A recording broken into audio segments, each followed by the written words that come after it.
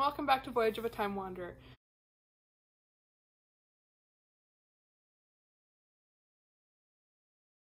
It was recently my birthday and my darling sweet husband bought me a book cart! I'm very excited about this and I thought I would make a little video as I set up my book cart and figure out what I want to store in it. I'm thinking I'll probably want to have like my monthly current reads, TBR, um, a section for my library books because right now they get stacked underneath my nightstand and it's a little chaotic. And then maybe move some of my theology books um, from my main bookshelf here so I have a little more space for uh, spreading out my fiction books and keeping my theology books separated out into their own little section. So without further ado, I'm going to start building this and take you along with me. Okay, so my plan is to put it like right here beside my piano, kind of behind the couch. Um, so I've got my scissors and, and hopefully this uh, won't be too tricky to put together.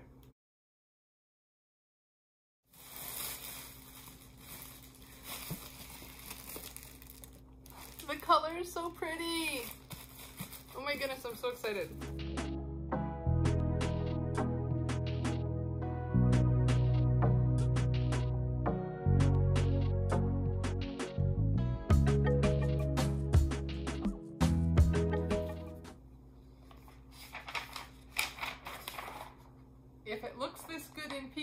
Just wait until it's assembled.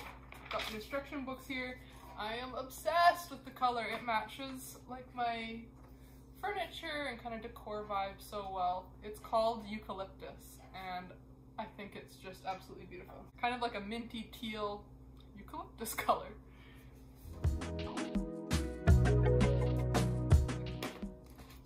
Is anyone else a total sucker for the little mini tools you get in these kind of furniture kits? Love it. Success!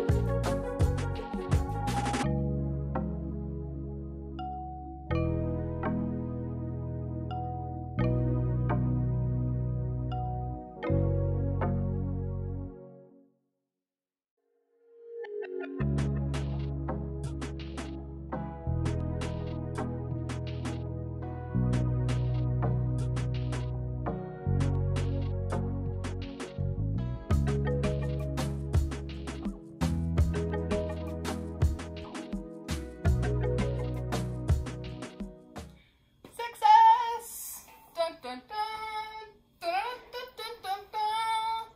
Book card! Let me wheel it into location. Dun dun dun dun! Back, the front. Oh my goodness!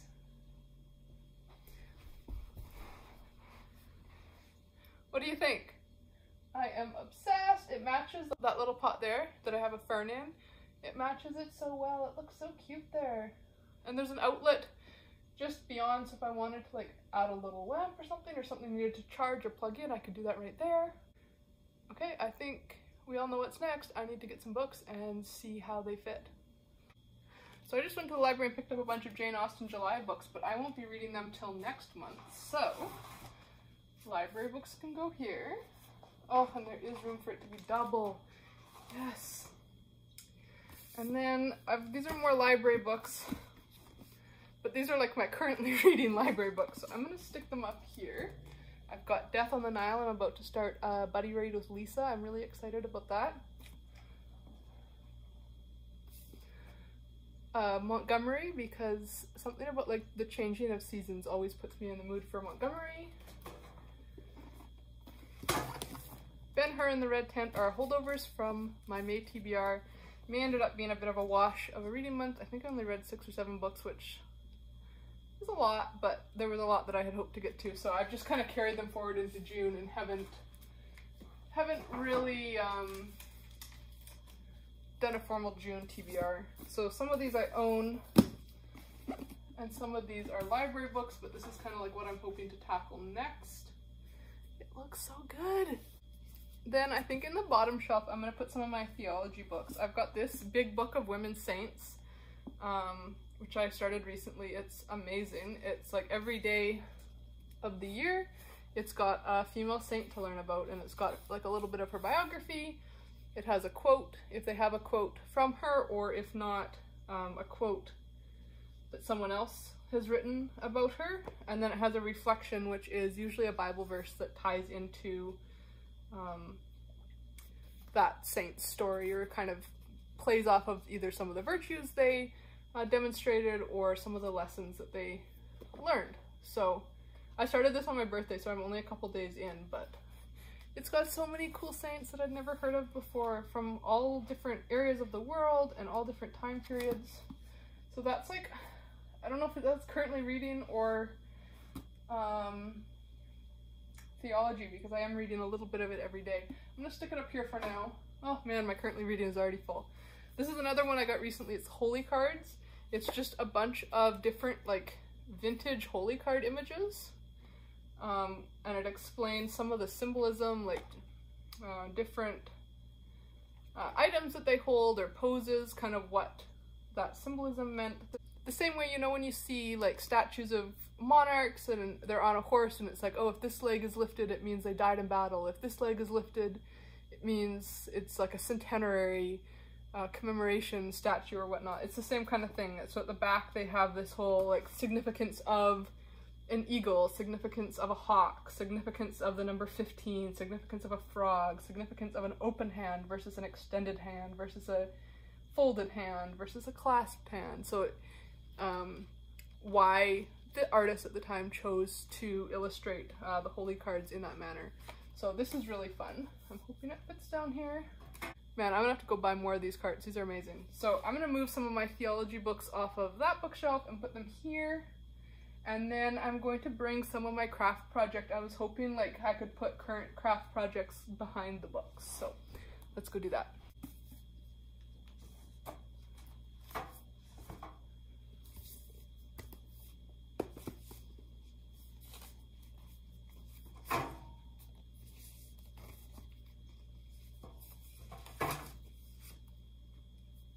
So I was hoping there'd be room for my yarn bowl, but that looks like a bit of a stretch. So I'm gonna have to keep that out for my actual current current project. But for some of my other projects, like this one I've got tucked away here. This is gonna be perfect back here. I can just like stick it back here. And now everything's super organized. Okay, so that is my current book cart. I've got lots of room here to expand. Uh, I'm loving the idea of having my library books kind of out on display because before I had been storing them on this shelf uh, on the kind of the bottom of my nightstand and then I would forget that I'd like taken this book out of the library until I got the notice that it was already due and I would have forgotten to read it. So it's nice that I can have my library books displayed, um, my like monthly TBRs up at the top here, and then some of my theology books down here. Uh, and have storage for crafts behind. I think it's perfect. I love the way this book cart looks. I will kind of zoom out and show you how it looks with the piano and everything. Um, but I'm definitely already eyeing another corner of my living room where I'm like, ooh, another book cart could fit in there and give me some more bookshelf space because I have run out completely of bookshelf space and even moving all of these didn't really do much. So um, maybe there will be another book cart video in the future, but for now I am thrilled with how this looks. It was fairly easy to put together. I think that wasn't too, too bad. And uh, yeah, it looks really nice. So thank you to my husband for this birthday present and hopefully you enjoyed this video. Until next time, enjoy wandering through the pages of a good book. Bye.